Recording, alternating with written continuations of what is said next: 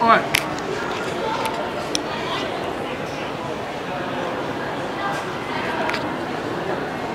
You're ready. You're really gay.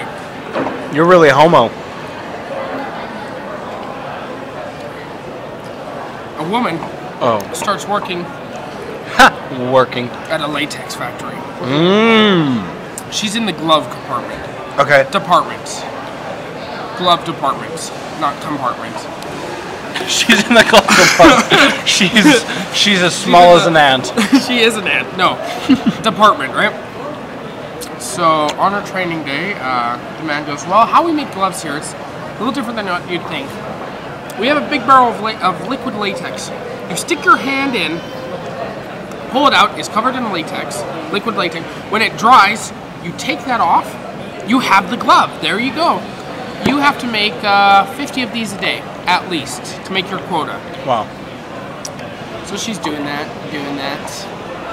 After about a few weeks of um, working there, one day she sits down in the break room, starts smirking, and starts really laughing.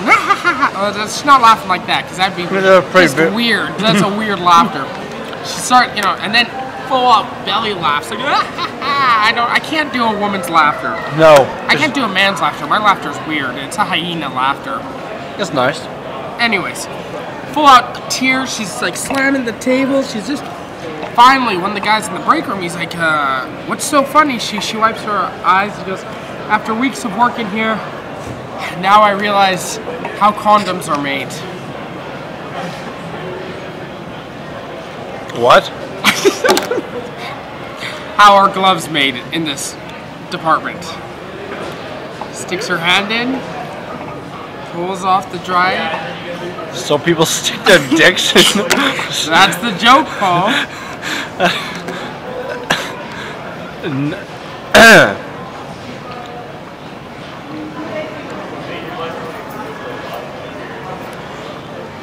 You still focusing on me? I'm still focusing on you. You got one more joke to tell. I'm thinking of one. I'm trying to think of one. While he thinks of one, I'll entertain you. That's just really faggoty, okay? You're faggoty. No, you're not. I'm doing a dance. I'm doing a dance. I'm doing a dance. I'm doing a dance. You gotta think of one soon, man. I'm really actually trying to think.